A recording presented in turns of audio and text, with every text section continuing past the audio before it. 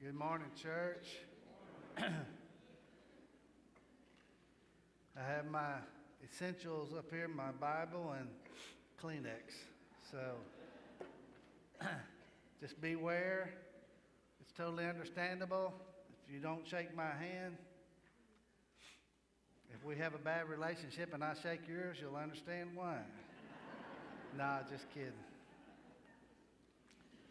Turning your Bibles to the Psalm 100. I was asked uh, already more than once today, how was your Thanksgiving? And usually when we ask that, we're talking about, uh, you know, where did you go? Who were you with? What did you eat?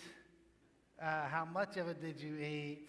Uh, all those kinds of things, basically about the event which, by the way, was born out of a, an appreciation for what God has done for us as a country and the great blessings that we have. And so that kind of typically is the, the question. But my question, and the, the, if you want to give this lesson a title, is How is your Thanksgiving? And that's just one little word, but it has a whole different kind of meaning to us. How is your Thanksgiving? This ongoing thing that's supposed to be a witness to the world that we're different than they are, how is this Thanksgiving? This thing that Paul says you're to do always in everything. I mean, how does that work, you know? Uh, this idea that somehow or another, in every circumstance I find myself in, I can still have a thanksgiving or a gratitude to God. And so that's really the challenge for us is, is to look at our lives and say, how, how is it going with my continual thanksgiving to God? And, and am I on target there? Because when I'm not, I'm in trouble.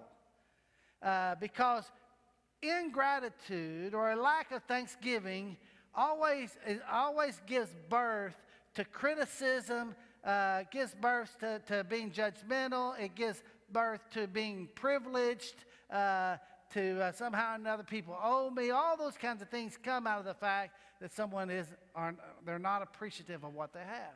Matter of fact, in Romans 1, he makes it very clear when he actually lays out a whole condemnation uh, passage about people who have forgotten God. He says in chapter 1, they, they did not know God, nor did they give thanks to God.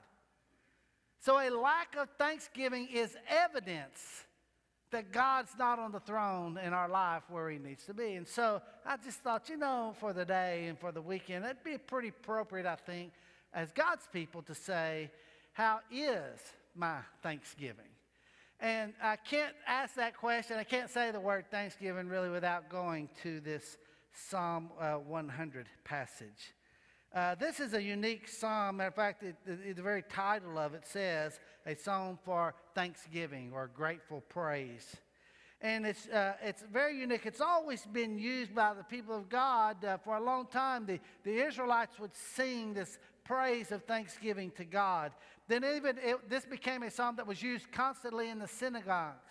This became a psalm that was used in the medieval church, in the 16th century church. This became a very habitual praise that was used in the assembly of God's people to say, we don't want to forget to thank God and praise Him for who He is. So, as we look at that for just a little bit, I, I have up here also on the stand, I have a rock. And on this rock, I don't know if you can see it from out there, but on this rock is carved the gospel symbols or the drawing that we use in teaching people. Because when we fail to give thanksgiving, we tend to be rock throwers. And uh, matter of fact, I'm going to leave this up here, and uh, if you, you can, you're welcome to come and get it. And that doesn't mean I think you're a rock thrower. I started to give it to somebody in the audience. I thought, no, they'll think I'm criticizing them. Uh, but uh, I didn't want to throw it out there and do real damage. You know, it is a rock. Uh, I do remember one time when I was real young. Uh, my matter of fact, my mother was and brother were retelling this story. Just thinking about going home for Thanksgiving they retell stories. And some of my, uh, some of my family, they're kind of like some of these modern his, history people. They changed the history of it, to me anyway. But there was a superintendent that wasn't well liked, and he was driving by our, our house one day, and I was young, and I threw a rock. And I, uh, uh, now, you know, my brother said, I know you didn't mean to do it because you weren't that good at aim. And I, am like, oh, yeah. I'm, you know. And I threw it, and it went through his window. It was rolled down and over into the lap of his wife. And he stopped the car quickly. And I ran around the back of the house quickly and up inside. And boy, he comes storming up. He was kind of a, not a very happy guy to begin with. You know what I'm saying? And so this just made him worse. So when he came up up on the porch using colorful language and about how my mom ought to do this and do that, you know what? It didn't take long. If he'd have left her alone, she would have took care of the problem. I'm standing behind her, hanging onto her leg. And all of a sudden, when he started going that route, no, no, she took care of me. She had my back. Well, really, I had her back, and she was, you know. Uh, throwing rocks is a dangerous thing. Oh, you're not out in the yard as a kid throwing them anymore. You get on your computer and you launch them out through Facebook. Right? You launch them out through those small pebbles through Twitter and you throw, launch them out. The, however, you know, we can get that criticism or that heart. And what that consistency of that tells you, somebody's not thankful. So I thought, you know what? The gospel on a rock is a good reminder about being grateful. One, I don't want to be a rock thrower, and I don't want to be too close to those that are throwing them all the time either. Thankfulness. How is your thanksgiving? Let's just break down the verse. First of all, what's involved in this psalm that says that, that we're going to thank God? Now, there, there, are three things in the first two verses. He says, let's, just, let's just read the whole thing, then I'll come back and break down the verses. Shout for joy to the Lord, all the earth. Worship or serve the Lord with gladness. Come before him with joyful song. Know that the Lord is God. It is he who made us. We are his. We are his people, the sheep of his pasture. Enter his gates with thanksgiving and his courts with praise. Give thanks to him and praise his name, for the Lord is good and his love endures forever. His faithfulness continues through all generations. May God bless the reading of His word. Father in heaven, we ask today that you remind us through your word and through the movement of your spirit that we are to be people of gratitude. May your word move our hearts and teach our minds and be active in our lives as we are witnesses to the world, as your children, to lift up and be examples of Jesus in all we do. May you enable us with understanding and with wisdom to walk with a spirit of gratefulness in any circumstances, in all times, and in all ways. In the name of Jesus, with the help of the Spirit, we pray, and the church says, Amen. So, first of all, the question what? What's involved in this? He says three things. First thing he says is shout. Shout to the Lord. Now, now, shouting's kind of gotten a bad name because sometimes Satan's taken that idea of shouting and used it in our marriages with our kids and all those kinds of things, right? And uh, but but really, shouting was what they did when royalty came in. There was a great shout from the crowd to acknowledge the greatness of the royalty that was there. And he tells God's people here, he writes that we are to shout to who? We shout to the Lord. We recognize His greatness. We recognize His, uh, his, his, loyal, his royalty. We shout to the Lord, all the earth. Everyone, we want everyone to hear. Throughout all the earth, we shout to the Lord. Now, we're not much of a shouting church. You know, we got, we got, we get, well, we, you know, we are. We have one designated shouter, right? Anybody know who that is? Kurt? Where's, uh, Kurt, are you here today? Where are you? There he is. There's the shouting brother right there. That's what I call him, the shouting brother. And, and, amen, brother. And so, you know, he shouts out what? Give us a, give us a sample of that, Kurt. Jesus. So I thought, you know, I thought, you know, it ain't, it ain't right for old Kirk to feel all alone by himself and that. We just ought to do that with him a time or two. Since we're talking about shouting, we might as well practice the verse. So uh, we're going to count the three and we're going to shout Jesus the way Kirk shouts Jesus. Is that okay? One, two, three. Jesus! Man, that's a great sound, isn't it?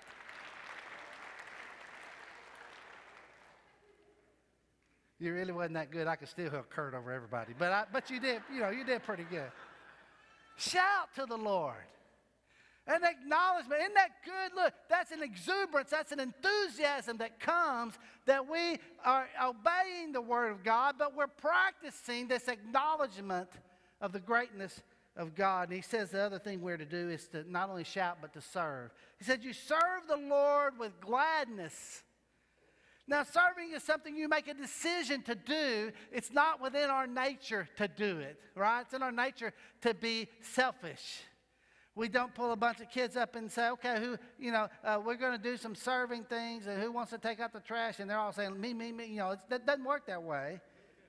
Typically, we kind of we kind of have to be taught to serve. Matter of fact, that's the way it is with thankfulness too, right? We have to teach our kids to say what? Thank you. It ain't, it's not something that's natural. We have to teach that, you see.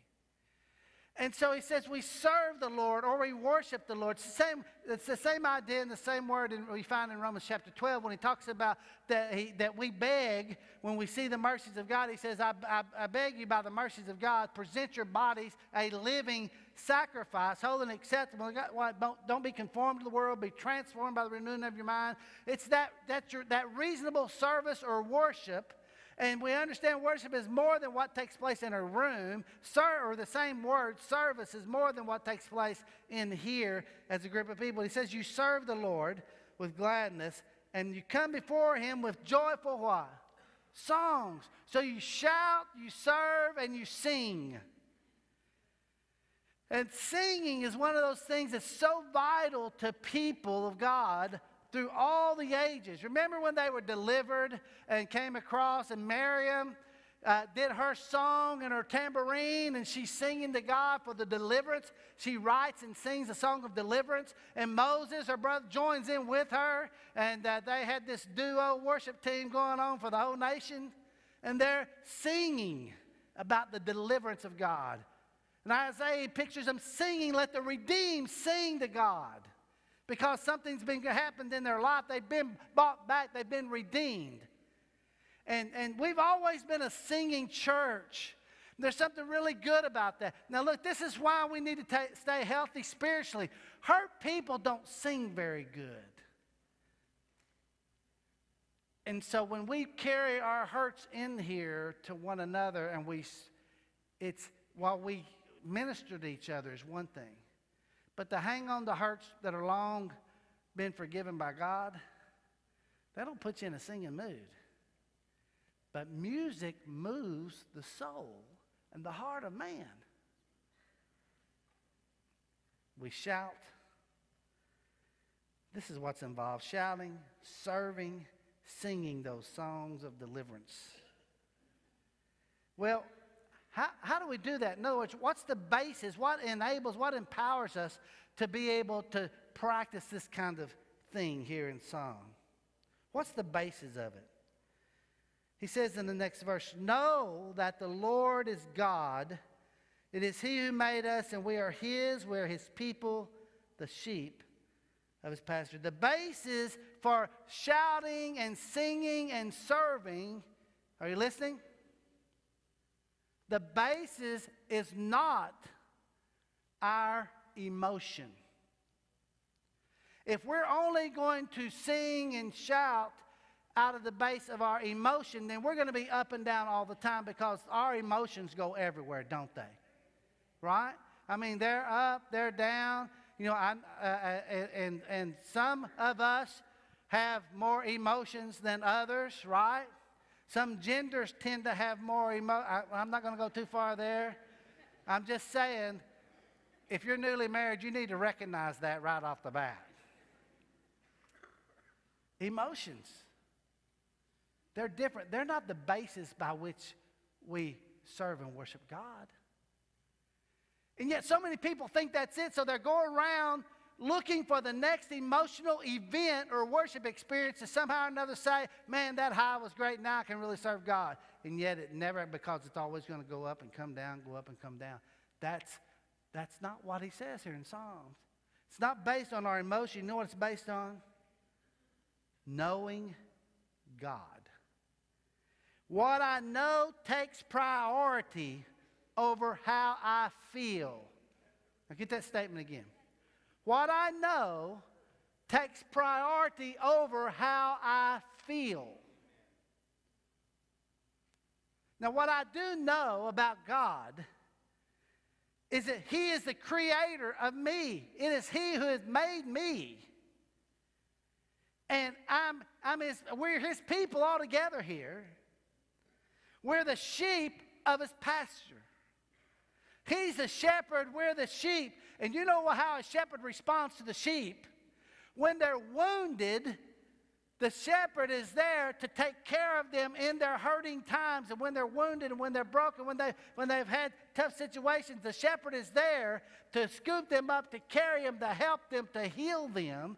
That's my confidence in God. Now, that's what I have to think about in my times of woundedness when I am wounded or when I am hurt, uh, if I only find myself thinking about myself, if I'm thinking about why is this happening to me and poor me and this and this and everybody else looks like life's going great, if I get caught up in thinking about myself too much for too long a period, then I will, I, I, I will all of a sudden become a very discouraged person. But if I can understand that when I'm wounded, be reminded that God, I know not emotion, not when I feel like it, not when I feel close to God. I know God. I know He made me, and I know He cares for me, and He loves me, and He will take care of me in my wounded and broken times. God does not cast you away or throw you aside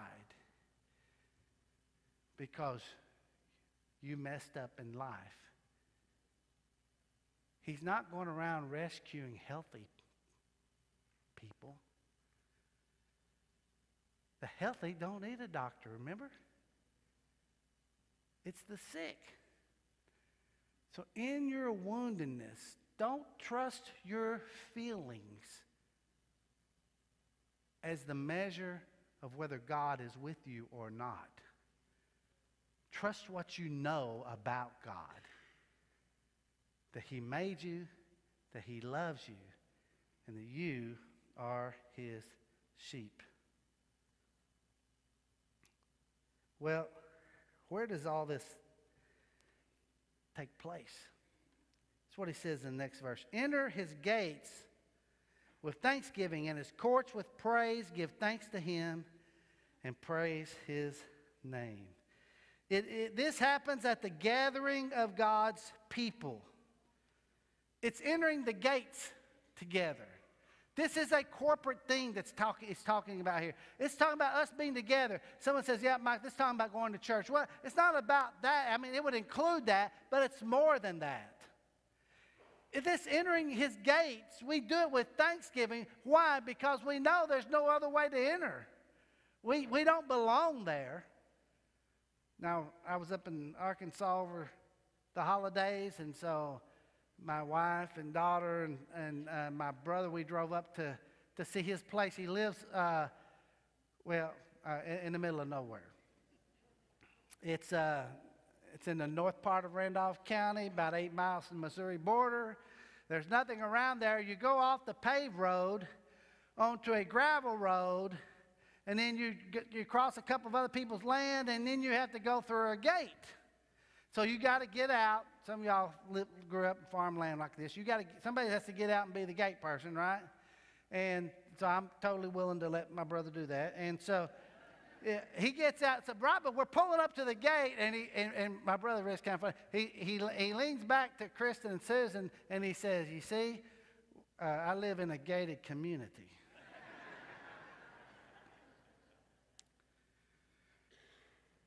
and he opens the gate we go in.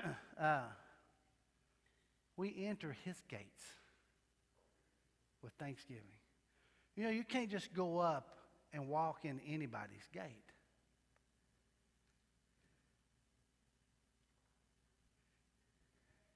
You go to the gates of the White House, they don't just let anybody in. But if you walk there with the right person and they say, He's what? He's with He's with me. You go right in. You didn't go in on your own merit. You didn't go in on your own credit. You went in by the strength and character or access that someone else had. So when we enter his gates, we enter them with thanksgiving because we can't get in the gates ourselves. Matter of fact, your name has to be on a list. They, they're going to check that list at the gate. Is your name on here? Yeah.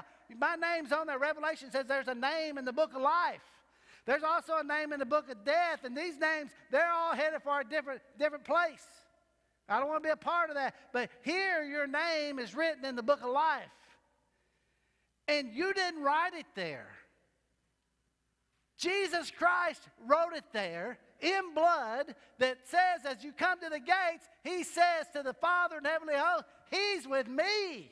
He's with me. I'm with the King. I can go straight on into the gates. And because I'm doing that by no merit of my own, what do I go in with? I go in with thanksgiving and praise based on His grace, His journey, His love for me, one who did not deserve it.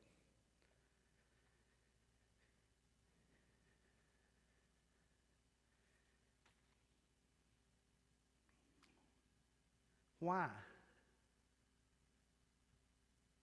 Why, why do we come in with this kind of thanksgiving? Verse 5 For the Lord is good, and his love endures forever. His faithfulness continues through all generations.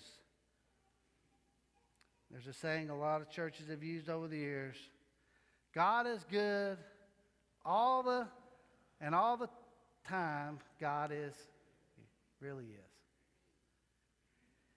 You see, we must have confidence in the goodness of God. If we're going to be people who look at our own thanksgiving and we're going to be able to thank God in every circumstance, all ways, then there has to be this confidence that God's purpose is being fulfilled no matter what is going on in my life at the time. No, it doesn't matter about my circumstances, whether it's a difficult situation or not, whether, uh, whether I think I deserve to be treated like this or not. Uh, it doesn't matter. There's a purpose to my life. God is working, Romans 8 28, all things out to the good, right? To the good of those that love the Lord. God has that ability to bend and manipulate and work in our mess ups and in our mistakes. And He turns those messes, messes into messages. He turns it into something great. And God, I have to remember, is good. And He will take care of me. You see, He says, far. Why can I enter His gates with thanksgiving, His courts with prayer? Far the Lord is good. And in this goodness, we see that his love, or some versions say his mercy, or steadfast love, it endures forever. His faithfulness continues through all generations. God always keeps all his promises. I love the last part of this faithfulness through all generations. Let me tell you why. Because I, I, and, and, I've, I've said these kind of statements before too. I look at the world and I see how terrible the situations are. And they're different than how I grew up. And, and uh, uh, you know, uh, so I, I, see it. It looks like the world's going in a bad way. It looks like it's headed downhill around our nation. Sometimes it's real easy to say things like, man, I, I'd hate to try to raise kids nowadays, right? I mean, what's it going to be like for that next generation? Well, let me give you a little reassurance. Here's what it's going to be like for that next generation God is faithful from generation to generation. God's not exiting the building anytime soon. He's not leaving the situation. His church is here, his people are here, and he will be faithful to your kids and your grandkids and their kids. And God's promises will stand true, his word will stand strong, and his message will stand powerful in saving the world around us. We've got to recapture our faith in God.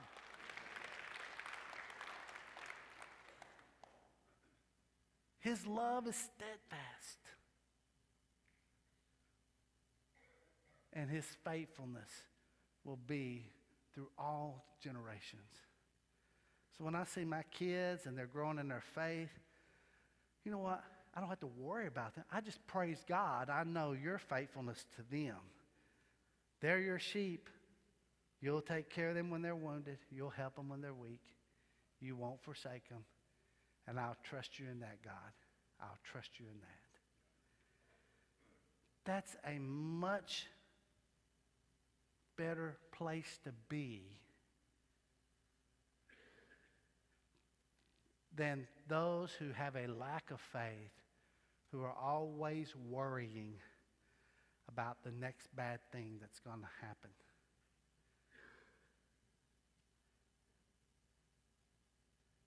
He did not save you to get rid of you or cast you off in a moment of weakness. Remember what the prophet said? A bruised reed he will not break, and a smoldering wick he will not snuff out. You know what that means? A reed is a little old thin stick. And they're easily broken. And if it's got a bruised place on it, it will break even easier. And what the prophet says that, look, God doesn't do you that way. Just because you have a bruised place on you, He doesn't break you in that place of weakness. And when your fire goes out and you're kind of just got a little smoke going, irritating the eyes of God, He doesn't snuff you out. He's going to flame in the fire what He needs to. A bruised reed, He won't break. God's not going to break you in your weakness. God is not up in heaven with a big stick and a big all seeing eye. That's what I always heard sung at my church, right? There's an all seeing eye, what? Watching you, watching you. And it was like, I mean, he's especially watching you. And I mean, I felt scared to death. He's watching me, you know. And so, I'm waiting with a big stick, waiting for you to stump your toe and say a bad word where you can bump, I got you. God does not enjoy the I got yous. God looks down in your bruised moment and is careful with you and strengthens you and heals you and forms you to look like Jesus. And as you say thank you to the world, you become a witness of what God's done for you through Jesus Christ. So this week, it's okay to look and check how is my Thanksgiving? Is it continual? Is it in everything? Even the world can be thankful for blessings that come along. You know, now the atheists have a hard time because they get an overwhelming feeling of I ought to be thankful, but they have nobody to go to, right? But even the world can be thankful for good things, but God's people have a different witness and testimony for we're thankful in every circumstance even if we can't understand it. Because it's not based on our understanding, it's not based on our feelings, it's not based on our heart. It's based on knowing God, and here's how God takes care of his people.